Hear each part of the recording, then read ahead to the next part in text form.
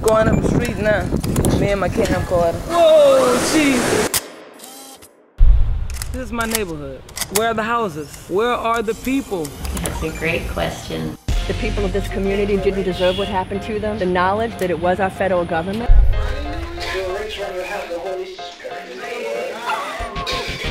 Make sure you filming everybody, everything. She hadn't stopped filming. This is my destiny to make a movie. Shoot everything we down. We are purpose. Shame on your fucking nature, on your DNA. You get booed up now, I stay shy. Barely staying alive, don't want to chop a couple now. Won't kill me. We'll keep it like that.